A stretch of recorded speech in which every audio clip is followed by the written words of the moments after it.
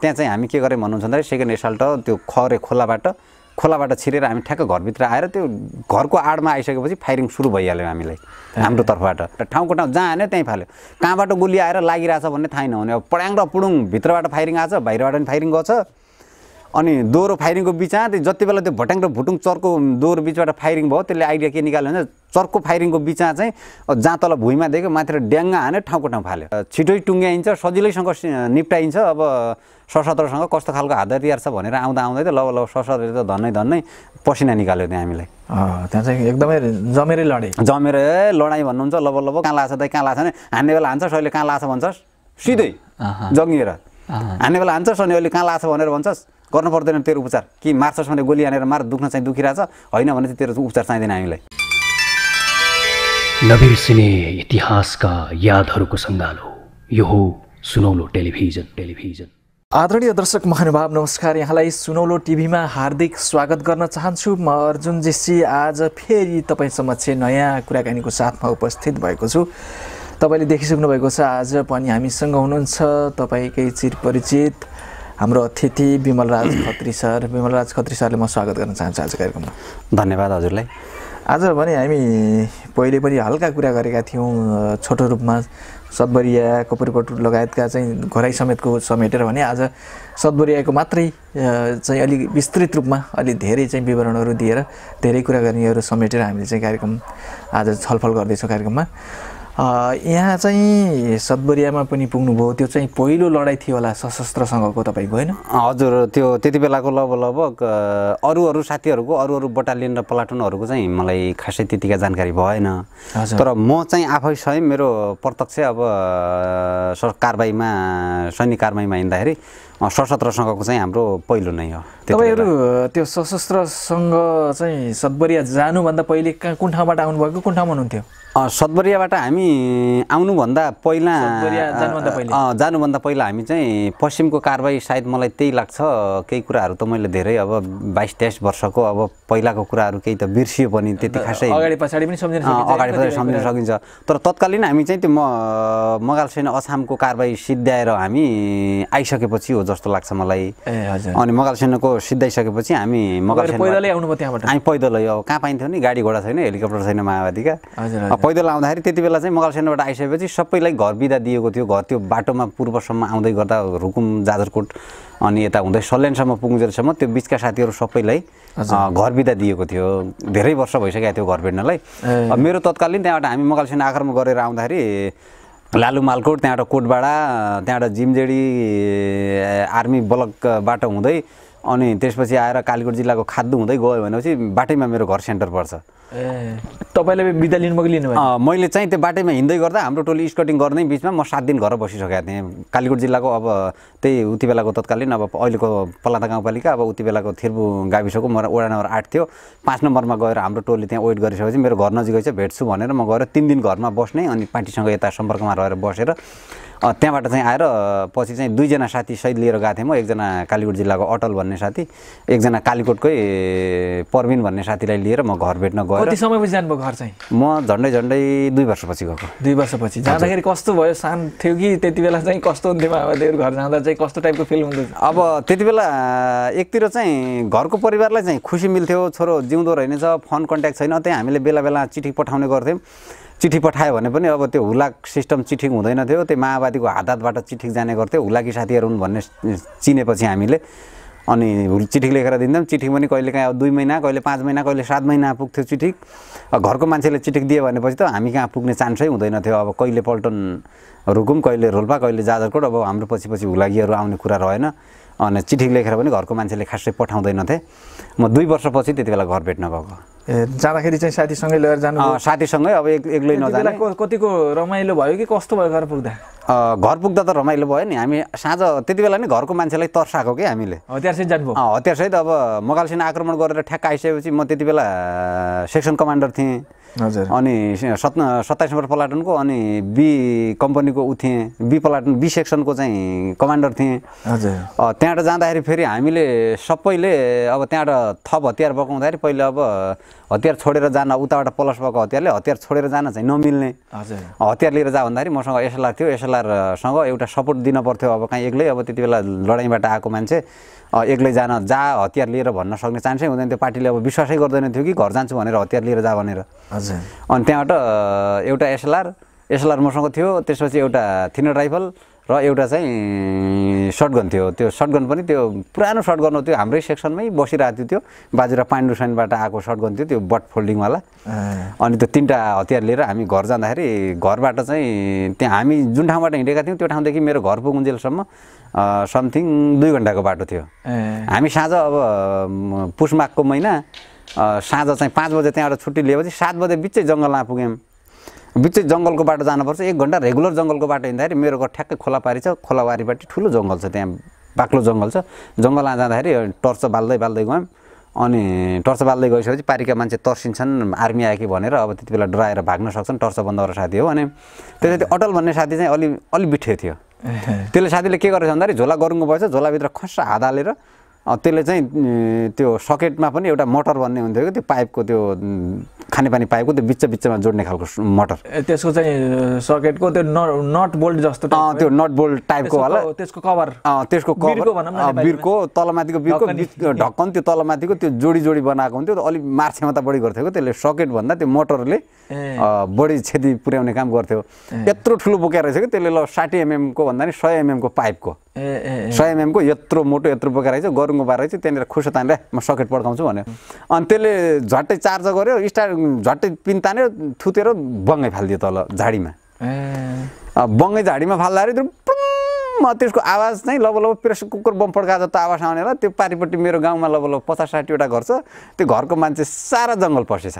आयो भनेर। आर्मी आयो त्यहाँ पड्कायो अब माओवादी यहाँ नजिक थियो हामीलाई पनि अब घर घरमा एक एक गरेर मार्छ दिउँसो हेलिकप्टर घुमिरहेको थियो भन्ने सुनेर सब भागेछ। अनि सब भागेछ हामी बिस्तारै घर गइसकेपछि घरको मान्छेले चिनेर सबै ओल्लो पल्लो घर चाहिँ मान्छे यो फलानु आयो घर आयो भनेर घरको मम्मी छुट्टै रुने दाईहरू छुट्टै रुने बा चाहिँ चाहिँ रुनु भएन घर आएको किन रुन्छौ भनेर सात दिन बस्यौँ त्यहाँबाट हामी चाहिँ घरमा चाहिँ रुने धुने पनि भयो? अँ, रुने धुने नि भयो अब आमाको मन नभएन। नजा भन्ने भएन त्यहाँ? अँ, नजा भन्ने त भएन अब नजा भन्ने कुरै थिएन हिँडिसकेको मान्छेलाई। नजा भनेर पनि सम्भवै थिएन नि त। नजा भनेर म घरमा बस्न खोजेँ भने पछिल्लो दिन गएर मारिहाल्थेँ आखिरी माओवादीहरूले।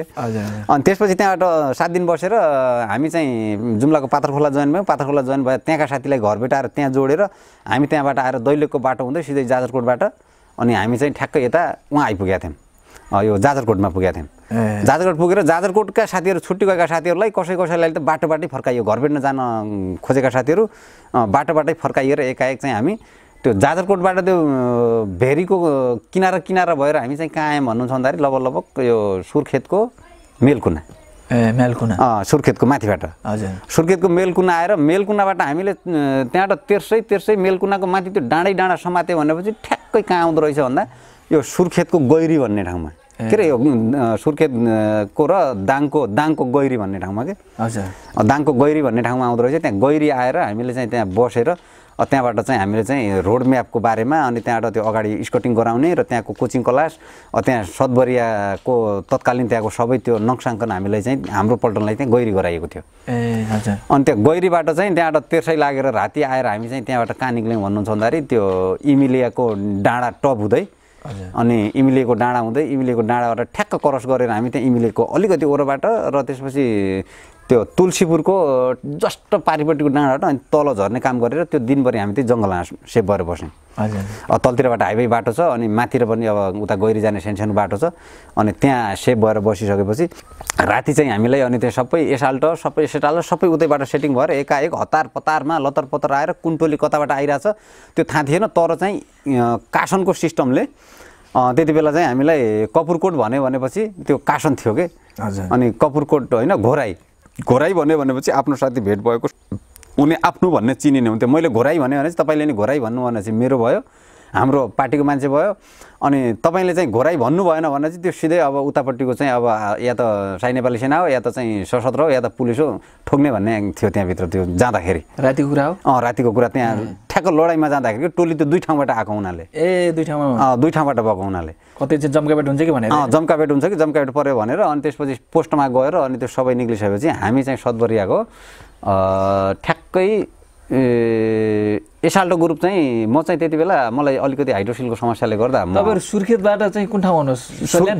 सुर्खेतबाट हामी सल्यान। ए सल्यान हुँदै दाङ झर्नु। सल्यान हुँदै त्यहाँबाट लगभग रोल पाउनुभयो कि दाङ दाङ आएको हामी। ए। रोलबाट दाङ आएर त्यो दाङको चाहिँ माथिबाट आएर त्यो गैरी गैरी झरेर दाङको गैरीबाट हामी चाहिँ त्यो यता इमिलीको डाँडा करस भएर तल झरेको। ए हजुर। अनि त्यसपछि चाहिँ हामीलाई तत्कालीन के भयो भन्नुहुन्छ भन्दाखेरि अब पाहाडतिरको चाहिँ उप खापट भूभागहरूमा त धेरै ठाउँ लडियो। हजुर। अब मगालसा नै लडियो त्यसपछि गएर अब घोराइ नै लडियो। तर तराईको सम्म ठाउँ भन्दाखेरि अलिकति हामीमा चाहिँ अलिकति आत्मबल गिरेको अवस्था थियो। हजुर हजुर। सम्म ठाउँ अब सम्ममा भयो भने के हुन्छ त भन्नुहुन्छ भने अरूमा चाहिँ सम्ममा चाहिँ समस्या हुँदैन थियो। सम्म ठाउँमा चाहिँ अब अलिकति लुक्ने ठाउँ र अब आफूलाई चाहिँ चाहिने भनेको युद्धमा त कुनै पनि सैनिकहरूको लागि एकदम इम्पोर्टेन्ट भनेको त अब कभर हो नि। कभर बिना त अब जस्तो खालको लडाकु भयो भने कभर बिना त टिक्नै सक्दैन। कभर आड। आड नै कभर भन्छ कभर नै आड भन्छ। आफूलाई सेफ्टी कभर भएन भने एकजना सामान्य खालको सिकारीले तपाईँको जस्तो खालको टेक्निक प्राप्त आर्मीलाई पनि कभर आर्मीले पाएन भने सुइगाइदिन सक्छ। अब जति भयो भने अब त्यहाँ कभर पाउँदैन रे अनि लुक्ने चाहिँ त्यस्तो खालको आड पाउँदैन। अनि सम्म ठाउँ भनेपछि अब सम्मको समय होला भनेर हामी चाहिँ आन्तरिक चाहिँ सबैको मनमा त्यो उही थियो कि त्यो त्रास थियो। त्रास भएर अनि म चाहिँ सेकेन्ड एसाल्टोमा सेकेन्ड एसाल्टोको पनि अर्कैको एकजना के दाई हुनुहुन्थ्यो उहाँ चाहिँ जुम्लाको दिपक हुनुहुन्छ कि अँ, दिपकको सेकेन्ड एसाल्टोको कमानमा थिएँ म। उहाँको जाँदाखेरि हामी चाहिँ त्यो ठ्याक्कै सदबरिया चाहिँ कस्तो रहेछ भन्नुहुन्छ भन्दाखेरि तलतिर अलिकति तल गयो भने त्यो राप्ती नदी रहेछ। अनि यतापट्टिबाट चाहिँ ठ्याक्कै पूर्व उत्तरतर्फबाट अँ, हाइवे भइहाल्यो। उत्तर पश्चिमतिर। उत्तर पश्चिमतिर पनि उत्तर पश्चिमतिर पनि हाइभाइ पश्चिमतिर ठ्याक्कै एउटा त्यो खोला जाँदो रहेछ सानो सानो खरे खोला। अनि पूर्वपट्टिबाट अलि ओरो एउटा खरे खोला जङ्गलले सर्लक्क घेरेको हाइभाइको तलतिर एउटा जङ्गल बिचमा चाहिँ सर्लक्कै समक्कै परेको ठाउँ। अनि ठ्याक्क त्यो टोल टोल बनाएको जस्तो गाउँको सिस्टम। अनि त्यो बिचतिर चाहिँ अब त्यो त्यति बेला हामीले त्यही सुनेको पनि हो। अहिले पछि पनि भन्न आएको। त्यो चाहिँ त्यति बेला नेपाली काङ्ग्रेसको नेता के नाम रे खुम्बहादुर। खड्काको घर नै हो भन्ने त्यति बेला तत्कालीन गृहमन्त्री पनि। तत्कालीन गृहमन्त्री पनि हुनुहुन्थ्यो उहाँ। गृहमन्त्री गृहमन्त्री हुनुभएको अनि गृहमन्त्रीको उसमा त्यहाँ चाहिँ हामीले भनेरै आएको। एउटा चाहिँ तराईको सम्म भूभाग भनेर हामी डराएको मधेसतिरको। अनि अर्कोतिर चाहिँ सशस्त्र प्रहरी भनेपछि अब सशस्त्र प्रहरीसँग हामी कहिल्यै नलडेको अब कस्तो पो लड्ने हो यसले? सशस्त्र प्रहरीसँग चाहिँ यो एम्बुसमा बाहेक जितेको माओवादीले भने त्यही मात्रै होला त्यही मात्रै हो नि। अन्त कतै पनि अरू सक्सेस सफल भएन कतै सक्सेस भएन। अब त्यहीँ यतापट्टि कुसुमा लड्यो त्यहीँ सक्सेस भएन भालुबाङमा पनि असफल अँ, भालुवाङ चैनपुरमा पनि अँ, असफल। चैनपुरमा र लगभग लगभग अँ, चैनपुरमा र यो भालुवाङ कुसुममा त रुलाएर पठाएको नि माओवादीलाई। अलिकति- पठाएको। त्यही चाहिँ अलिकति त्यो होलेरीमा शस्त्र बन्नुभन्दा अलिकति अगाडि। अलिकति सशस्त्र बन्नुभन्दा अगाडि तर दङ्गैमा भएर अँ, शस्त्र नै बन्यो टोली त टोली सशस्त्रै बन्यो। अब त्यति बेला चाहिँ तालिम त्यसपछि गएर उनीहरूसँग अब चलाउने त्यो रेपान्स हतियारहरू। अब कस्तो खालको थियो अब त्यति बेला आकस्मिक पनि भयो। आकस्मिक पनि भयो। अब पछि आएर त्यहाँ आइसकेपछि त्यही सदबरिया बाहेक अन्य त ठाउँमा त सशस्त्रले त्यहाँ छुन पनि दिएन नि। घोषणा भइसकेपछि घोषणा भइसकेपछि त लगभग जति ठाउँ सशस्त्रमाथि आक्रमण गर्यो त्यति ठाउँ सशस्त्रले रुँदै पठाएको माओवादीहरूलाई। एम्बुसमा बाहेक। अँ, एम्बुसमा बाहेक गस्ती गएको बेलामा। अनि त्यहाँबाट त्यो खरे खोलाबाट गइसकेपछि खरे खोलाबाट ठ्याक्कै खेतको काँदलाबाट भित्र चढेर हामी पोस्टमा आउनेलाई एक नम्बर रिसल्ट चाहिँ अगाडि बढ्यो। त्यो दिन दुई ठाउँ अँ, तपाईँहरूको आक्रमण थियो अरे होइन? लम्बैमा पनि। लम्बैमा पनि थियो। हामी सदुरिया पढ्यौँ अर्को टोली चाहिँ लम्बैमा थियो। लम्बैमा पनि थियो। लम्बैमा हजुर। अँ, लम्बैमा चाहिँ त्यो जनपद नै जनपद थियो। इलाका परिकारले अथवा के थियो इलाका प्रहरी कार्यालय थियो लम्बैमा। लम्बैको पनि त्यो बजारभन्दा अलिक परपट्टि थुम्कोमा छ नि थुम्को जस्तो छ त्यसैमा रहेछ। त्यहाँ त झ्यापझुप एकैछिन पारिहाल्यो सस उसलाई जनपदलाई। अनि जनपद पनि थियो अरे त्यहाँ सङ्ख्यात्मक तरिकाले पचास पचपन्नजना कति इन्सपेक्टरै साहबको कमानमा थियो भन्ने हल्ला थियो। अनि त्यहाँबाट चाहिँ त्यहाँ झरिसकेपछि त्यो टोली सबैसँग वरिपरि भेट भएर टोलीको सबै पूर्व पश्चिमबाट आएको सेन्टी पोस्टमा जानेको कोट भएर कासन भएर सबैको अल्ल टोली पुग्यो भन्ने सुइकेस भइसकेपछि। अब त्यहाँ हामीलाई जानकारी के थियो भन्दाखेरि जति सक्दो हामीले चाहिँ छिटो आक्रमण गर्ने आठ बजे हामीले आक्रमण थालिहाल्ने भन्ने थियो त्यहाँ। किन भन्नु छ भने अब मधेसको ठाउँ हामीलाई त्यहाँ बचेर जाने ठाउँ हामीलाई कम कम छ नि त। अब हाइवाई पनि त्यहीँ छ। त्यसपछि गएर माथि दाङबाट पनि आक्रमण हुने सम्भावना नेपालगञ्जबाट आयो भने पनि सम्भावना। त्यसपछि गएर त्यो सबै ठाउँको हामी बिचा एकदम तल छौँ नि त। त्यो भएर छिटो छिटो झ्यापझुक एका घन्टाभित्रै लपेट लापेट पाडेर अनि आक्रमण छिटो गरेर छिटो सिद्ध्याएर चाहिँ हामीले सुरक्षित स्थानतिर चाहिँ लागिहाल्ने भन्ने योजना थियो हाम्रो। सन्देश नै त्यो। थियो त्यो भएपछि त्यहाँ चाहिँ हामी के गरेँ भन्नुहुन्छ भन्दाखेरि सेकेन्ड एसाल्ट त्यो खरे खोलाबाट खोलाबाट छिरेर हामी ठ्याक्क घरभित्र आएर त्यो घरको आडमा आइसकेपछि फायरिङ सुरु भइहाल्यो हामीलाई हाम्रो तर्फबाट। सुरुमा तपाईँहरूले नै हान्नुभयो? अँ, सुरुमा हामीले नै हानेको त्यहाँ फायरिङ खोल्ने सिस्टम जाने तपाईँहरू त्यहाँ नजिक पुग्दासम्म चाहिँ शस्त्रले चाहिँ थाहा पाएको अँ त्यस्तो कुनै सुइङ्गेस पाइरहेको थिएन। पोस्ट पोस्टबाट लाइट जलाइरहेको थियो पोस्टमा बसिरहेको थियो सबै। आफ्नो आफ्नो पोस्ट चाहिँ हाम्रो पोस्टबाट हामीले यसो हेर्दाखेरि कति बेला सुइँ खेततिर लाइट घुमाउँथ्यो। अनि लाइट घुमाएर हेर्थ्यो अनि कसैलाई बन्द गर्थ्यो अनि कति बेला लाइट बाल्थ्यो ओल्लो पल्लोमा के के कुराकानी हुन्थ्यो। उनीहरूको पोस्टमा। पोस्टदेखि हामी झन्डै झन्डै सय मिटरको दुरीमा थियौँ। अनि चाहिँ हाम्रो अगाडिको चाहिँ एक नम्बर एसाल्ट चाहिँ लगभग पोस्टदेखि त्यही पचास मिटरको दुरीमा पुगिसकेको थियो। पछि बिस्तारै हामी मुभ हुँदै मुभ हुँदै ठ्याक्कै हामी फर्स्ट एसाल्ट र सेकेन्ड एसाल्ट हामी सँगसँगै हुने बित्तिकै त्यसपछि उताबाट चाहिँ त्यो माथिल्लोबाट जाने उत्तरतिर त्यो हाइवे रोडतिरको लागि गेट हाइवे रोडतिर थियो। अनि त्यहाँबाट फायरिङ सुरु गरिसकेपछि हान्दै हान्दै लगभग लगभग छिटै टुङ्ग्याइन्छ सजिलैसँग निप्टाइन्छ। अब सशस्त्रसँग कस्तो खालको हात हतियार छ भनेर आउँदा आउँदै त लब लब सशस्त्रले त धन्नै धन्नै पसिना निकाल्यो त्यहाँ हामीलाई। त्यहाँ चाहिँ एकदमै जमेरै लडे जमेर लडाइँ भन्नुहुन्छ लगभग लगभग त्यति बेलासम्मको आर्मीहरूसँगको हाम्रो लडाइँ भनेको जस्तै हामीले कपुरकोट हार खाथ्यौँ रातामाटा हार खाथ्यौँ अनि त्यसपछि अन्यत्र ठाउँ हामीले जित्यौँ त पनि तर चाहिँ त्यति बेला त्यहाँ कपुरकोट भन्दा पनि अझै जमेर चाहिँ त्यहाँ सशस्त्र लडेको हामीसँग। सशस्त्र लड्दा लड्दै लड्दा लड्दै पछि चारैतिरबाट उसको अब के कमान्डिङमा अब कमजोरी भयो। त्यहाँ चाहिँ यस्तो सुनिन्थ्यो रुखमाबाट पनि हाने माओवादीहरूलाई र ठुलो क्षति पुर्यायो भन्ने सुनिन्थ्यो र गोली सकिएर मात्रै गोली सिद्धिएर मात्रै चाहिँ उनीहरूले त्यही म त्यो कुरा जोड्दै थिएँ। त्यसपछि तपाईँको लास्ट टाइम पछि पसिना निकालिसकेपछि त्यसले के गर्यो त भन्नुहुन्छ भन्दाखेरि त्यो केही घरको छतमा थियो। धेरै जसो उसको घरको छतमा थियो। रुखहरूमा पनि अनि त्यसपछि गएर त्यो बाँकी के रहेछ भन्नुहुन्छ भन्दाखेरि सशस्त्रहरूले चाहिँ त्यति बेला त्यो उदिएको रहेछ कि त्यो तिन चारवटा त्यो सन स्न्यापर भन्ने। अनि स्न्यापर र यसलाई लिएर त्यो रुखहरू पनि उसको थियो कि त्यो सासको रुख। सास भन्ने एउटा छुट्टै भन्छ हामी सास भन्छ त्यसले के भन्छ अर्को त्यो सालभन्दा पछिल्लो एउटा त्यस्तै त्यस्तै पात भएको। सिर्लेको परेको धुम्म परेको रुख अब त्यो रुखमा चढ्या रहेछ त्यो। त्यो रुखबाट फेरि तल जहाँबाट आवाज आएको अवस्था देखिन्छ त्यो गोलीको छिरछिर हुन्छ। मैले एकजना साथीले सुनेअनुसार पछि हामीले त त्यो स्न्यापर हामीले चलाउनु पाएनौँ। त्यो स्न्यापरको त्यो एउटा लेन्स मिलाएर हेऱ्यो भने राति अँध्यारोको पनि देखिने हुँदो रहेछ। त्यो देखेर हानेर माऱ्यो भन्ने हल्ला पनि थियो कि त्यो। त्यो नाइट भिजन भयो राति त्यो बेलेन्समा चाहिँ नाइट हेर्ने चाहिँ स्कोप हुन्छ त्यो एउटा। नाइट भिजन त्यो नाइट भिजन स्कोपले चाहिँ देखेर हान्छ भने चाहिँ त्यसले चाहिँ रुखबाट हानेकोले चाहिँ धेरै क्षति गरायो हामीले। रुखबाट ठाउँको ठाउँ जहाँ हान्यो त्यहीँ फाल्यो। कहाँबाट गोली आएर लागिरहेछ भन्ने थाहै नहुने। अब पड्याङ र पुडुङ भित्रबाट फायरिङ आएको छ बाहिरबाट पनि फायरिङ गर्छ। अनि दोहोरो फायरिङको बिचमा त्यो जति बेला त्यो भट्याङ र भुटुङ चर्को दोहोरो बिचबाट फायरिङ भयो त्यसले आइडिया के निकाल्यो भने चर्को फायरिङको बिचमा चाहिँ जहाँ तल भुइँमा देख्यो माथि ड्याङ्गा हान्यो ठाउँको ठाउँ फाल्यो। त्यति बेला त अब चाहिँ फर्किने भन्ने कुरा पनि भइसकेको थियो अरे। एकजना चाहिँ कसले चाहिँ हाइपोस्टको कब्जा गरेपछि मात्रै त्यहाँ चाहिँ फेरि फर्केर गएको भन्ने पनि कोही अनि-। अनि केही टोली चाहिँ उता लमैको टोली पनि आएर चाहिँ सपोर्ट दियो भन्ने सुनिन्थ्यो अँ, त्यसपछि गएर चाहिँ रुखमा भएका सशस्त्रहरूले लमैको टोलीले चाहिँ थाहा पाएर चाहिँ पत्ता लगायो भन्ने कुरा पनि थियो हो कि होइन? हजुर हो, त्यो कुरा म गर्दै थिएँ। त्यसपछि त्यो रुखबाट फालिसकेपछि त्यहाँ टोलीलाई के हो भन्दाखेरि उथल पुथल भन्दा पनि माओवादीहरूलाई चाहिँ लब लब पसिना निक्लेर फर्किएर ब्याग हुनेसम्मको स्थितिमा हामी पुगिसकेका थियौँ। त्यो कुरा चाहिँ जो साथीले भने पनि जतिले भने त्यो कुरो सत्य तथ्य मेरो आँखाले देखेको। त्यो कुरा सत्य नै हो। त्यहाँबाट हामी फर्किने फर्किने बेला चाहिँ के भन्दाखेरि त्यो हाई पोस्ट कब्जा गऱ्यो भने चाहिँ सहज हुन्छ भनेर त्यो हाई पोस्टको टोलीले अलिकति के भन्दा प्रेस दियो त्यहाँ फेरि। टु- पोस्टको टोलीले प्रेस दिइसकेपछि फेरि रिसिभ भएकाहरूलाई पनि त्यो कमान्डरबाट नफर्किन आदेश दियो कि बरु रोकेर राख्ने यिनीहरूको चाहिँ जति ढिलासम्म भए पनि यिनीहरूको चाहिँ गोली सिद्ध्याउन्जेलसम्म हामीले लड्नुपर्छ। अब भनेर फर्केको टोलीलाई सिद्धाइसकेपछि त्यसपछि यता आएर लम्बैबाट अ, त्यो सशस्त्र के अरे पुलिस जितेर गएको टोली चाहिँ अलिकति अब जितेर गयौँ भन्ने तरिकाले चाहिँ उनीहरू अलिक जोसमा गयो क्या त्यहाँ। अलिकति जोस जाँगरका साथ त्यहाँ पुगिसकेपछि पश्चिमबाट हुने टोलीमा चाहिँ लम्बैबाट गएको टोली चाहिँ पुगेन भेटेन। जति त्यो उत्तरतर्फीबाट चाहिँ यताबाट त्यो लम्बैबाट छिटो पुग्ने ठाउँ छ त्यहाँ पुगिसकेपछि त्यो पछाडिबाट गएको टोलीले चाहिँ के गर्यो भन्दाखेरि उता हानिरहेको बेलामा चाहिँ रुखबाट हानेको चाहिँ एकजनाले चाहिँ चाहिँ पत्ता लगाउनु भएछ। त्यो रुखबाट हानिसकेको हानेको। रुखबाट हानिसकेको थाहा पाइसकेपछि उनीहरूले त्यो रुखमा खोजेर पहिले त्यो रुखकोलाई झारिसकेपछि अनि रुखको तल झारिसकेपछि पछि लास्ट टाइम सशस्त्र चाहिँ बिहान त्यो तिन चार बजेसम्म नियन्त्रणमा आउने बेलासम्म लगभग लगभग उनीहरूको चाहिँ हात हतियारहरूमा धेरै बचाउनेले चाहिँ आकस्मिक कसैले छोपिहाल्यो भने चाहिँ दुई राउन्ड तिन राउन्ड मात्रै बचाएको थियो। नत्र भने कसैसँग एक राउन्ड पनि थिएन। ए। एक थिएन लास्ट राउन्ड सिद्धिसकेपछि त्यसपछि बल्ल गएर उनीहरूले अब चाहिँ आत्मसमर्पण गर भनेको चाहिँ बाहिरबाट कासन तेरो ज्यान बचा आत्मसमर्पण गर भनिसकेपछि कहिलेकाहीँ यिनीहरूले बचाउँछन् कि त? बाँच्न सकिन्छ कि त भन्ने तरिकाले बुलेट छैन अब त्यति के लड्नु अब छैन बन्दुक मात्रै भएर भएन हातले लड्ने कुरा रहेन भनेर लास्टमा चाहिँ उनीहरूले आत्मसमर्पण गर्न तयारी भएका हुन्।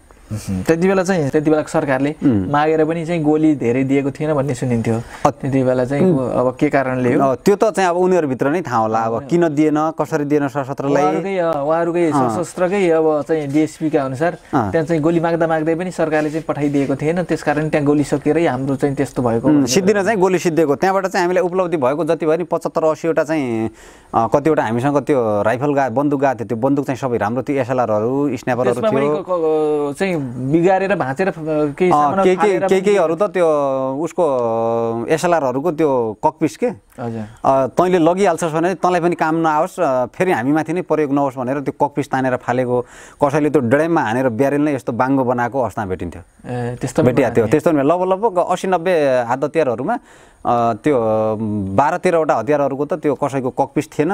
त्यहाँ सङ्ख्याभन्दा पनि हतियार बढी थिए भन्ने सुनिन्थ्यो हो त्यहाँ त्यस्तो भेट्थ्यो अ, त्यस्तो त सायद होइन होला। भेटियो होला तैपनि अब साथीहरूले आकलन गरे होला नि मेरो शङ्काले चाहिँ त्यो पचहत्तर असी थान कतिवटा हतियार गएको त्यो पचहत्तर असीवटा त्यहाँ सशस्त्र थियो भन्ने हल्ला थियो। अब बढी त किन दिएको थियो होला? बरु चाहिँ हामीले भेटाउनु भन्दा। सङ्ख्याभन्दा चाहिँ बन्दुक बढी थिए भन्ने कुरा बन्दुक हुने त्यो अब त्यो सशस्त्र कतैबाट भागेर बाहिर निक्लिएको थियो होला भागे होला नि हतियार छोडेर। त्यहाँ कति सङ्ख्या भने चाहिँ तपाईँलाई थाहा एक किन भएन त्यो पचहत्तर असीजनाको डाटा हामीले भेटाएका हामीलाई कोचिङमा पनि त्यो पचहत्तर असीको भनेको थियो त्योभन्दा बढी चाहिँ अब हतियार बढी हुनुको कारण के हो अथवा कतै सप्लाई पो भइरहेको थियो कि के थाहा? कति लानलाई चाहिँ कतै अन्तै लैजानलाई अथवा पठाउनलाई थियो कि अथवा त्यहाँभित्र हतियार त्यहाँ छोडेर कोही छुट्टीमा यसो बाहिरतिर बजारतिर गएको पनि त हुनसक्ने सम्भावना हुनसक्छ नि छुट्टीमा गएको पनि हुनसक्छ। अब कोही बजारतिर बाहिर गेट हाउस लिएर आउट लिएर बाहिर गएको पनि हुनसक्छ। तपाईँहरूको तर्फ चाहिँ के कस्तो चाहिँ भएको थियो? त्यहाँ चाहिँ क्षतिको अवस्था हेर्दाखेरि त्यहाँ हाम्रो क्षति खासै त्यति ठुलो भएन। घाइतेहरूको सङ्ख्या चाहिँ धेरै भयो। क्षतिको सङ्ख्या त्यही बत्तिसदेखि छत्तिसको हाराहारीमा भएको त्यहाँ। ए मरेकै? मरेको। बत्तिस छत्तिसजना त त्यहाँ मरेको यो माओवादीले अथवा त्यो पछि कसैले बाटोमा गएर मरेको घाइते भएर गएर आफ्नो आफ्नो प्लाटुनले लिँदै बाटोमा मरेको सङ्ख्या जोड्ने हो भने फरक होला। त्यो फरक हुनसक्छ। अनि घटनास्थलमै? हामीले देखेको त्यो लास लिएर उता खरे खोलामा त्यो गड्ड्याएको त्यो त्यति बेला हामी सेकेन्ड एसाल्टामा पछि म त फर्स्ट एसाल्टामै आइसकेको थिएँ। त्यसपछि बिहान भएको सबैको डाटा कलेक्सन गर्दाखेरि बत्तिस तेत्तिसजना चाहिँ त्यहाँ भन्दाखेरि बत्तिसदेखि चालिसको हाराहारीमा चाहिँ त्यही घटनास्थलमै चाहिँ सिद्ध्याएको यो त्यसले मारेको यो नै घाइते पनि थियो होला। घाइते त ल भर्सकै भयो नि असी ट्र्याक्टरमा हालेर लगेको भन्ने अँ ट्र्याक्टरमै हालेर लगेको घाइतेहरूलाई। त्यहाँ ट्र्याक्टरमा हालेर पनि त्यो लम्बै आकारमा सिद्धाइसकेपछि त्यो ट्र्याक्टरमा हालेर यताको बाटो लिएर आएको त्यो उता कुसुमतिर जाने हामी पछि हामी त्यो कुसुमतिरको बाटो उकालो लाग्यौँ। उताबाट कुसुमको बाटो हुँदै उकालो लागेर हामी चाहिँ ठ्याक्क त्यो त्यो पश्चिम के भन्छ त्यो ऊभन्दा तुलसीपुरभन्दा लगभग लगभग दस बाह्र किलोमिटर पर पश्चिम के भन्छ कि त्यहाँ एउटा नाम के छ? सुर्खेतको। के अरे डाङको हजुर। हामी त्यहाँबाट उकालो लागेको हाम्रो टोलीमाथि। अनि उता ल्याएन यता ल्याएका घाइतेहरूलाई त्यहीँको एउटा ट्र्याक्टरमा हालेर ल्याएको। अब त्यो घाइतेहरूलाई कहाँ लिएर उपचार गरेको थियो के भयो त्यो हामी सकुशल मान्छे मात्र त्यहाँबाट निक्लेर गएको। त्यो चाहिँ मलाई जानकारी भएन। त्यहाँ चाहिँ उता त शस्त्र तर्फ चाहिँ के के अवस्था थियो? तपाईँले के के देख्नुभयो त्यहाँ चाहिँ? त्यहाँ सशस्त्रमा हामी जाँदाखेरि त्यो पुरै टोटल सर्च गर्दाखेरि हामी परबाट आइसकेपछि म दुई नम्बर एसाल्टबाट सुरुमै एक नम्बर एसाल्टमा आइसकेपछि म लड्न चाहिँ एक नम्बर एसाल्टबाटै लडेँ। त्यहाँ दुई नम्बरको साथी पछाडि नै रह्यो। हाम्रो सेक्सनबाट चाहिँ मर्नेमा चाहिँ कति दुईजना आउनु हाम्रो उसबाट एसाल्टबाट त्यहाँ मरेको दुईजना हो। दुईजना मध्येबाट नि कति चारजना घाइते भए हुन्। घाइते भएर भित्र आउँदाखेरि दुई तिनजनालाई घाइते भएर चाहिँ सशस्त्रलाई त्यो एउटा बङ्करमा भेटाएको बङ्करबाट भेटाएर त्यो लिएर यता घरतिर उतापट्टि एउटा घर थियो सानसानो त्यो भान्सा जस्तो थियो त्यहाँ पठाएको। अनि मैले देखेको त्यो पाँच सातजना यस्तै त्यो मरेको अवस्था देखाएको थिएँ। बाँकी लास्टमा गोली सिद्धिएर चाहिँ आत्मसमर्पण गरेर एउटा साइडतिर लिएर राखेको मैले देखाएको थिएँ। त्यहाँ सदबरियामा हामीले चाहिँ युद्ध सबै सर्च गरेर त्यहाँको चाहिँ घाइते अनि त्यो मरेकाहरूलाई चाहिँ आखिरी त्यो उनीहरूलाई राम्रोसँग निगरानी गरेर हामी बाहिरबाट त्यो सर्चमा बङ्कर चाहिँ त्यहाँको उनीहरूको त्यो सेल्टर क्लियर गर्दै आएपछि जहाँसम्म पहिले हामीले चाहिँ आत्मसमर्पण गरेकाहरूलाई छोपेर लिएर सबैलाई एउटा चाहिँ उतापट्टिको घरको बाहिर यस्तो साइडतिर अलिक सुरक्षित ठाउँ फिल्डतिर राखियो। अनि घाइतेहरूलाई उठाएर सबै एक ठाउँमा थुपारियो तिनीहरूलाई जम्मा गरियो। जम्मा गरिसकेपछि मरेका चाहिँ त्यही दस बाह्रजना यस्तै ती लासहरू देखिन्थ्यो। अब ती मरिसकेको प्रमाणी गरेर यताउता हल्लाइ उल्टाइ पुल्टाइ पारेर। अनि त्यसपछि एउटा कुरा पर्लोबन पनि के।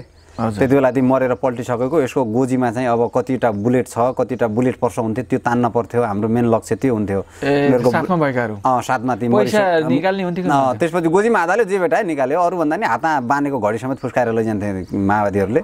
त्यस्तो पनि गर्थे त्यस्तो पनि गर्थे हातमा कसैको घडी बाँधेको छ भने चाहिँ त्यहाँनिर यसो पल्टाइदिएको खुसो निकाल्यो आफ्नो हातमा पेट्ट बानिहाल्यो उनीहरूसँग रहर धेरै हुन्थ्यो आपूर्ति हुँदैन थियो नि त। रहर जति भए पनि अब घडी हुन्थ्यो कसै फुस्कायो गोजीमा हाल्यो कसैले पर्स भेटायो भने पर्सै तानेर गोजीमा हाल्यो। तर चाहिँ सेना प्रहरीहरूले तपाईँहरूले चाहिँ खाना लगाएको खाना भेटाएमा चाहिँ नखाने अब चाहिँ के हो कसो भनेर चाहिँ हुन त तपाईँहरू पनि खाना त के गर्नुहुन्थ्यो? खाना पनि खानुहुन्थयो अरे खाना भेटायो भने त धेरै ठाउँ मैले खुदै तर चाहिँ उनीहरू उनीहरूले चाहिँ त्यसरी खाना खाने सामानहरू प्रयोग नगर्ने चाहिँ अब त्यसरी चाहिँ काँचो खाना खाए पनि नष्ट गरिदिने तर नलाने गर्थे अरे तपाईँहरूको चाहिँ त्यस्तो हुँदैन थियो। अब उनीहरूसँग के हुन्थ्यो भन्दा त्यो हुनाको कारण चाहिँ मेन के हुन्थ्यो त भन्नुहुन्छ भन्दाखेरि उनीहरूलाई कमी कुनै छैन नि त। अब तत्कालै सेना प्रहरीबाट अनि त्यसपछि सशस्त्रबाट उनीहरूलाई कमी त कुनै पनि छैन नि। अब खाना टन्न मेसा खाना पाकिरहेछ सधैँ भात मासु खाना पाइरहेछन्। लाउने आपूर्ति उनीहरूलाई अब शरीरमा लाउने लुगा कपडा महिनाको तलब आउँछ युनिफर्म अब राज्यले दिइहाल्छ। उनीहरूलाई त्यो विषयमा खाँचो हुँदैन थियो अब हामीलाई के हुन्थ्यो जङ्गलमा नाङ्गा हिँड्नु पर्ने एउटा युनिफर्म दिन्थ्यो एउटा युनिफर्म एक साल डेढ साल त्यो फाटेर पुरै त्यो टुक्रा नभएसम्म त्यही चलाउनु पर्थ्यो। अब त्यहाँ राम्रो खालको कपडा भेटायो भने झोलामा हाल्ने हुन्थ्यो। हातमा चाहिँ आर्मी पुलिसले घडी बाने भए पनि त्यो निकालेर राख्न हुन्थ्यो। अनि उनीहरूको किचनमा चाहिँ काँचो खाना बाहेक पाएको खाना यसो किचनमा पाकेछ भने यसमा बिक त पक्कै पनि हाले होइन ल भन्ने हुन्थ्यो। लड्यो आयो यसो भेटायो खाँदै हिँड्दै गरिन्थ्यो। हाले भए पनि हालो सधैँ खाँदै। हाले भयो भने हालोस् भन्दै खाँदै गरिन्थ्यो। नत्र भने सकेसम्म त कहाँ बिस हाल्छ त नि भन्ने हुन्थ्यो। भेटायो भने चाहिँ पाकेको खाना खाइन्थ्यो। किन पेट भोको हुन्थ्यो। खाँदाखेरि आएर कहिले काहीँ बिहानदेखि हिँड्यो भने चाहिँ बेलुका राति युद्ध लड्नु पर्थ्यो। अब सातु चिउडा र अनि त्यो चाउचाउले हिँडिएको अवस्था हुन्थ्यो। अब कहिले काहीँ बाह्र एक बजे खाएर हिँडिएको हुन्थ्यो। तैपनि अब आटो ढिँडो खाएर हिँडिएको अनि भोक लाग्थ्यो प्यास लाग्थ्यो। त्यो त खाना बाध्यै भइन्थ्यो नि। त्यसरी उप- उपचार कति चाहिँ गर्नुभयो कसैले चाहिँ त्यसरी? अब त्यति बेला त्यहाँ हेर्नु उपचारको कुरो चाहिँ अलिक छुट्टै छ कि त्यति बेलाको सशस्त्रहरूले। लास्ट चाहिँ उनीहरू मैले हजुरलाई योभन्दा पहिले पनि यो कुरा चाहिँ गरेँ। उनीहरूको चाहिँ म्यागजिना चाहिँ बुलेट खाली हुँदैन थियो भने। अब त्यो कति दिनसम्म त्यो आखिरी लडेर चाहिँ आखिर माओवादीलाई त्यो तस नस पार्थ्यो त्यो त म भन्न सक्दैन। वास्तविक उनीहरूलाई चाहिँ भने बमोजिमको उनीहरूसँग एउटा कुरा दुई ढाई घन्टामै सिद्धिनु बुलेट चाहिँ अब उनीहरूले बढी हानेर हो त्यो पनि अब भन्न सकिँदैन। अथवा उनीहरूलाई चाहिँ अब अत्याधुनिक रेपन्सहरूमा आवश्यकता अनुसारको राज्यले उनीहरूलाई त्यो बुलेट उपलब्ध नगराउनु। अब त्यो उनीहरूलाई थाहा होला। तर लास्टमा गएर उनीहरूले चाहिँ बुलेटै सिद्धिसकेपछि चाहिँ उनीहरूले हामीसँग आत्मसम्पर्क गर्यो। कसैलाई चाहिँ आत्मसम्पर्क नगरेर चुप लाग्दा लाग्दै पनि अब छोपेर ल्याइसकेपछि उनीहरूलाई चाहिँ अब आत्मसमर्पण गरिसकेकोलाई छोपेकोलाई हामीले चाहिँ गोली हान्ने त्यसरी मार्ने चाहिँ त्यस्तो अमानवीय व्यवहार चाहिँ भएन। त्यहाँ चाहिँ मार्न खोज्नेहरूलाई कसरी कन्ट्रोल गरे? मार्न खोज्नेहरूलाई त पहिले भनेको चाहिँ आत्मसमर्पण गरिसकेकोलाई र छोपेकोलाई गोली हान्नु हुन्न भन्ने थियो। त्यसपछि कमान्डर हामी सँगसँगै भित्र प्रवेश गरेको हुनाले कसैले कमान्डरले। रोके? कमान्डरले रोकेर हान्न पनि दिएन त्यो सबैलाई सकेसम्म चाहिँ नहानौँ र एउटा कुरा चाहिँ मानव अधिकारवादलाई हनन नगर्ने र बाँकी अरूहरूलाई पाठ सिकाम भन्ने हुन्थ्यो कि? हान्न त हान्थे होलान्। तैपनि के भन्दाखेरि अब अराजकपन्थी हो उनीहरूले अराजक तरिकाले एउटा कुरा युद्ध लड्थे त्यो हान्दैनथे अब हान्न हुन्न भन्ने सिद्धान्तमा चाहिँ हुँदैनथे। तैपनि के सल्लाह हुन्थ्यो भने एउटा लडाइँमा हामीले चाहिँ यिनीहरूलाई सकुशल छोडिएछ भने अर्को ठाउँमा कुनै अब अर्कोले एउटालाई देखेर अर्को सुध्रिन्छ नि त। अब त्यसले चाहिँ फेरि सजिलै हामीलाई बचाउँछन् अब यिनीहरूले लडेपछि मार्छन् अब आत्मसमर्पण गऱ्यो भने बचिन्छ भनेर पनि हतियार फाल्छन् अर्को लडाइँमा हामीलाई सहज हुन्छ भनेर। त्यही अब साई नेपाली सेनालाई आर्मी पुलिसलाई त्यो उसको लागि के एउटा कुरा त्यो सुझाव जस्तो गरेर पनि उनीहरूलाई छोड्ने बाँकी थियो। हजुर। अनि त्यहाँ आत्मसमर्पण गरेकोलाई एउटा साइडमा लगाइयो र ऊ घाइतेहरू थिए लगभग लगभग पन्ध्र सोह्रजना तिनीहरूलाई उपचार गर्न लैजाँदाखेरि त्यहाँ हामीले पछि भित्र शान्ति पुरै त्यो नियन्त्रणमा लिइसकेपछि हामीले डक्टर बोलायौँ यिनीहरूलाई उपचार गर्नु पऱ्यो। सामान्य ट्रिटमेन्ट मलमपट्टि भनौँ प्राथमिक उपचार। प्राथमिक उपचार सामान्य मलमपट्टि गर्दाखेरि मलमपट्टि गर्नै नदिने। ए। उनीहरूले मान्दै मान्दैनन्। पहिले पनि नि? उपचार गरौँ मैले योभन्दा पहिलेका कुराहरूमा पनि गरेँ उपचार गरौँ ल ट्रिटमेन्ट गरिदिउँ कहाँ लाग्छ दाइ कहाँ लाग्छ भने हान्ने बेला हान्छस् अहिले कहाँ लाग्छ भन्छस्? सिधै। जङ्गिएर। हान्ने बेला हान्छस् अनि अहिले कहाँ लाग्छ भनेर भन्छस्? गर्नु पर्दैन तेरो उपचार। कि मार्छस् भने गोली हानेर मार दुख्न चाहिँ दुखिरहेछ? होइन भने चाहिँ तेरो उपचार चाहिँदैन हामीलाई। अब भन्ने त्यहाँ हामीले फकायौँ कि उनीहरूलाई? त्यहाँ। फकाउनेतिर पनि के? होइन यस्तो होइन। युद्ध भनेको तपाईँ हाम्रो होइन। अनि तपाईँ हाम्रो दुश्मनी पनि होइन तपाईँहरूले चाहिँ जागिर खाएको रिसले पनि होइन हामीलाई। अनि त्यसपछि यो भनेको एउटा राज्य सत्तासँग हो। राज्य सत्तालाई तपाईँहरूले प्रयोग गर्यो। यो प्रयोगलाई राज्य सत्ता हामीले ढाल्नको निमित्त हो। यो माओवादी आन्दोलन भनेको तपाईँ हामी बिचमा होइन यो तपाईँले बोकेको र तपाईँले राज्यले बोकाएको यो बन्दुकसँगको राज युद्ध हो। यो बन्दुकले नै तपाईँहरूले हामीलाई दिएर यो बन्दुकले यसरी लखट्यो। बन्दुकले गर्दा हामीले धोका पाएको हुनाले हो। तपाईँले गाह्रो पिरो नमान्नुहोला सक्नुहुन्न त्यसपछि सक्नुहुन्छ। जागिर छोड्नुहोस् सक्नु हुँदैन खानुहोस्। फेरि पुनः फेरि चाहिँ तपाईँ हाम्रो यस्तै भेट्नुहोस् भन्दाखेरि खान्छु नि जागिर। मरे नि मरिन्छ नि देशको लागि। भनेको सिधै। सिधै जङ्गिएर। खाने हो नि जागिर त खाने हो नि मरे नि मरिन्छ। कोही कसैले त्यस्तो भन्ने। न डाइरेक्टै हाक्का हाकी भन्दिनँ कि? के मार्न भने चाहिँ मार्यो भने मरिन्छ नि भन्ने उपचार गर्न खोज्दाखेरि डक्टरले चाहिँ गर्नु पर्दैन कि गोली हानेर मार कि उपचार गर्नै पर्दैन हामीलाई। चाहिएको छैन त्यस्तो उपचार सुपचार। अब भनेको ल तिमीहरूको भोलि बिहान हेलिकप्टर आउँछ त्यसपछि गएर उपचार गरी माग्यो भने जसले जसले ल दुखिरहेछ गर्दै भन्यो अरूभन्दा नि डिप्लो सुई अलि इमान्दार जस्तो सुई पीडा बढी महसुस भएको जस्तोलाई आउने सिधै इन्जेक्सन लाउने जस्तोलाई त्यो डिप्लोको सुईसहित लगाएर गएर मलमपट्टि गरायो गोली लागेको ठाउँमा। डिप्लो भन्नाले कस्तो त्यो? दुखाइ केही बाह्र तेह्र घन्टासम्म त्यो दुखाइ कन्ट्रोल गर्ने हुन्छ डिप्लो भन्छ त्यसलाई? अँ डिप्लो भन्छ त्यसलाई। ए। अनि त्यो डिप्लोको इन्जेक्सन लगाएर गयो। डेक्सो डेक्सोना डिप्लो भन्दा डेक्सोना। देख्छौ न अँ, त्यो लगाएर गयो। अब बाँकी चाहिँ उनी अकड्नेहरूलाई ल चाहिँ दुःख रातभरि लिँदै बस्छ भन्ने भयो त्यहाँ छोडियो त्यसपछि। त्यसरी चाहिँ? अँ त्यसरी छोडियो। त्यतिसम्म अकड्ने कि लास्ट उनीहरूले चाहिँ हतियार छोडेर घाइते भइसक्दा उपचार गरिदिनसम्म पनि हाम्रो हातको नमान्ने दिनेहरू। कसै कसै त्यस्तो हुन्थ्यो होला कोही कोही फेरि। हजुर मेरो छोराछोरी छ म घाइते भएँ मलाई नमार्नु भनेर हात जोड्ने यसो रुने जस्तो त्यस्तो बिहेफ देखाउँथे। आत्मसमर्पण गरेकालाई चाहिँ पछि हान्ने त्यस्तो अँ त्यहाँ त भएन त्यहाँ। त्यस्तो अन्यत्र ठाउँबाट हाने होला नि त्यहाँ चाहिँ त्यति बेला तत्कालीन सशस्त्रलाई आत्मसमर्पण गरिसकेको बेला हानेन। त्यहाँ त सबैले बचाएर हामीले सकुशल छोडेर गएको त्यहाँ के भन्थ्यो आत्मसमर्पण गरिसकेका आत्मसमर्पण गरिसकेपछि केही भनेन अब किन लड्छौ यसरी भन्दाखेरि जागिर बचाउनु छ हामीले कमान्डरले लडाउँछौँ हामीले लड्न पर्ने हाम्रो बाध्यता हो भन्थ्यो उनीहरूले। त्यसपछि अब जागिर खान्छौ कि के गर्छौ भनेर हामीले सोधेको पछि हामी अब सिधै घर लिएर हामी राजीनामा लिने हो हामी पुनः फेरि जागिर खाँदैनौँ। लड्दा हामी लड्दैन भन्दाखेरि हामीले चाहिँ एकछिन बसालेर कमान्डरले सम्झाइरहेको? अँ लिएर चाहिँ गएनौँ त्यहाँबाट गएको होइन लिएर त्यहीँ छोडेर गएको। त्यसपछि त्यहाँबाट तपाईँहरू कतातिर लाग्नुभयो त्यहाँबाट चाहिँ हामी यता कुसुम जाने बाटोतिर हाइवेमा निक्लेर हाइवेबाट त्यो राष्ट्रिय निकुञ्जको जङ्गलै जङ्गलबाट त्यहाँबाट गैरीभन्दा अलि ओ र यी तुलसीपुरभन्दा अलि पर एउटा के नाम भन्छ त्यो गाउँबाट निक्लेर हामी सिधै सल्यान निक्लेको त्यहाँबाट। सल्यान सल्यान गएको। सल्यान गएर त्यहाँबाट हामीहरू त्यो त्यहाँ भएको समीक्षा अनि गल्ती कमजोरी र उपलब्धिहरूको बारेमा त्यहाँ चाहिँ अब स्याबासी धन्यवाद मरेकाहरूको चाहिँ अब त्यो श्रद्धाञ्जली। कतिजनाको क्षति भएको भन्ने चाहिँ तपाईँलाई थाहा छ अहिले चाहिँ त्यो सशस्त्रको त्यहाँ? त्यहाँ सशस्त्रको ठ्याक्कै मलाई थाहा भएन त्यति बेला। मिडियाले भनेको थियो हामीलाई थाहा भएन मरेको चाहिँ भित्र थोरै देखिन्थ्यो। त्यही कति सात आठजना मेरो आँखाले देखेको ढलेको अरू घाइते थिए कतिजना।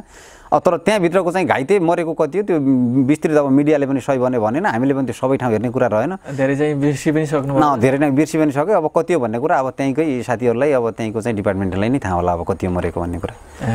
खासै धेरै चाहिँ सशस्त्रसँग लडाइँ चाहिँ अलिक कमै पऱ्यो होला होइन? कमै पऱ्यो सशस्त्रको त भालुबाङ त्यसपछि चाहिँ कुसुम कुसुम, त्यसपछि चैनपुर। चैनपुर, यति होला सायद। अरू ठाउँमा कमै देखिन्छ। कमै देख्यो। त्यति बेला सशस्त्र निर्माण गर्यो। अब जान साई नेपाली सेना नभएको ठाउँ चैनपुर चाहिँ साई नेपाली सेनालाई त्यहाँ सुरक्षा दिएको थिएन त्यहाँ सशस्त्रलाई जिम्मा दिएको थियो चैनपुर त्यो उता उहाँको सङ्घसभा सङ्घ सभामा। एम्बुसरमा धेरै ठाउँ सशस्त्र पर्यो अनि सशस्त्रसँग पढेको यहाँ कुसुम हो कुसुममा चाहिँ माओवादीले राम्रोसँग तहसनस गरेर पठाइहाल्यो चैनपुरमा तहसनस गरेर पठाइहाल्यो। एउ- एउटा सशस्त्रको टोलीसँग चाहिँ मुठभेड भएको ठुलो लडाइँ भएको चाहिँ एउटा धोबाघाट हो त्यहाँ चाहिँ अब शस्त्रहरू चाहिँ अलिकति त्यहाँ छेदविच्छेद भयो त्यहाँ दोबाघाटमा भन्ने थियो। हामी त त्यहाँ थिएनौँ दोबाघाटमा अब सशस्त्रसँग पढेको भन्ने थियो। तैपनि माओवादीहरू चाहिँ प्रायः जसो पछि पछि त सशस्त्रदेखि चाहिँ डराउँथे। बेसरी लड्छ यो जमेर लड्छ यो कडा पल्टाउनु यो सशस्त्र भन्ने सुनिन्थ्यो कि त्यति बेला हामीलाई। सेनाबाट पनि खारिएर आएका खारिएर आएका। जनपदबाट पनि खारिएर आएका चाहिँ जनपदबाट पनि मान्छेहरू खरेर आएका चाहिँ लड्न चाहिँ बेसरी लड्छ।